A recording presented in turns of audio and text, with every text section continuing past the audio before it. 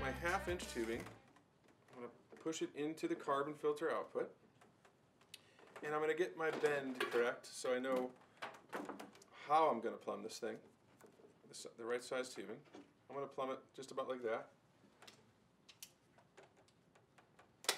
This RO tubing is very forgiving, so uh, it bends and twists really nicely. You don't want to uh, bend it too far at the fitting. You want to let it have a little bit of natural uh, run to it. So I'm doing that here. Now before I hook this up, I'm going to flush this carbon filter.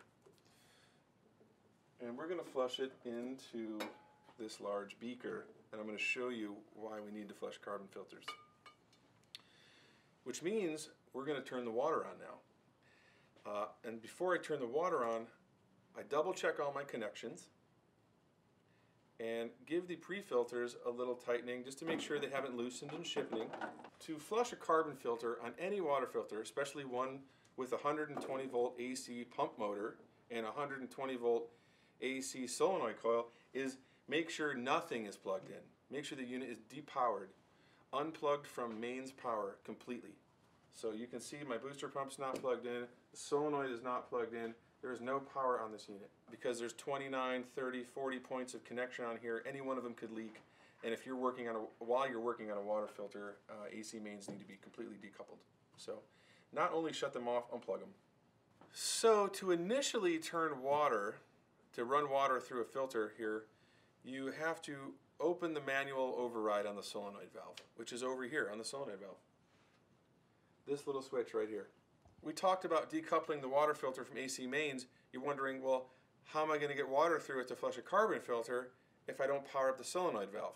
Well, the solenoid valve has a manual override switch on it. So if the solenoid coil were to fail, or any other thing, you could manually open it and still make water. Now to manually open it, you take the little white override switch here and turn it perpendicular to the pipe, just like that we're not going to turn the water on full blast. We're going to slowly turn it on because this these pre-filters are full of air and carbon dust. So we're going to slowly turn it on. It's going to fill up the pre-filter slowly and we're going to start seeing the carbon filters flush into this beaker. Watch, it's going to be really cool.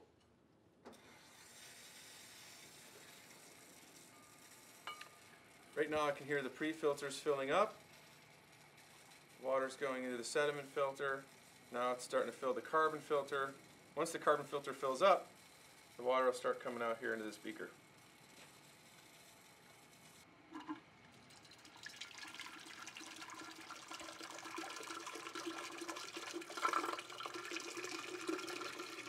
Notice all the air bubbles coming out as the carbon filter is purging.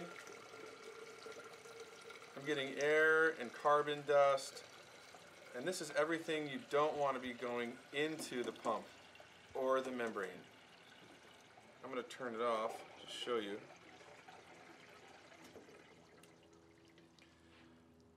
So now you can see this is the carbon dust from the, see our carbon filters are really highly catalytic KDF carbon, uh, which is a bed of KDF 85 underneath uh, a big thick bed of highly active catalytic carbon. It's the best carbon on the planet, but it's dusty. And so you need to flush all the dust out. Now this beaker is only uh, a one gallon beaker. You need to flush this carbon filter for about 20 gallons, 30 gallons until this water is clear. You can see it's obviously cloudy and impregnated with carbon fines. So after about 20, 30 gallons, this water will clear up. The air bubbles will stop spewing out of the carbon. It'll be a, a consistent stream of water and that's when you're ready to hook it up to a pump. Now I'll tell you a trick. If you're not in a rush, the best way to flush a carbon is to do what we're talking about, flush it out for 20, 30 gallons, and then shut it off and let it sit overnight. It's called bedding the carbon. Let the carbon sit in the feed water overnight and the carbon will bed down and all the fine dust will separate from the main chunks and the dust will come out on the next flush and bedding the carbon is really a way to keep the dust from coming out right after you flush it. And what we're trying to do is stop dusting off completely. So a good flush, bedding it overnight really is the best way to do it. But if you need to make water, just make sure you flush it for 20, 30 gallons till this water is clear. And here you can see the water's coming out uh, crystal clear. That's water that has been sediment filtered and carbon filtered, and there's no more carbon fines in the water. And so now it's ready to be plumbed to the rest of the unit, to the pump and the membrane. So to do that, just to drain this tube really quick. Okay. And we've already cut it to length, so now we're just going to insert it into the pump input. Wipe up any little water there. And I'm, I'm going to put on a high pressure clip. Although this is the low pressure side of the unit, this is the feed water coming in, it's not necessary, but we like to put them on anyway. And then I'm going to put this, uh, the warning tag back on the carbon filter so people know when you change the carbon filter, it needs to be flushed. This unit is ready to be uh, initially started up purged. Okay, we've been flushing for 20 minutes now at line pressure. Uh, and you can see the water is already a lot clearer than it was when we started. Uh, the membrane storage solution is almost out of the membrane. And now is a good time to hook up mains power and turn this thing on and tune it in.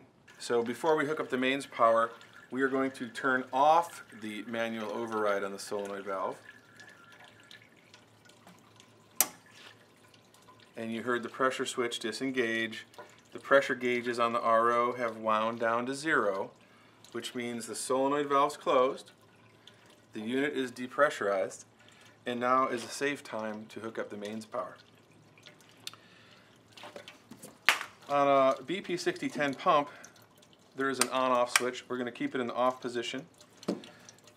The mains power cord is here, and we're going to plug it into 120 volt. The little piggyback cord here is for the solenoid valve. So we plug the solenoid valve into it. And what this does is, when this switch is turned on, this piggyback cord is energized and it will open the solenoid valve, allowing water to flow in the water filter. The pressure switch will turn on and the RO will turn on. Here we go.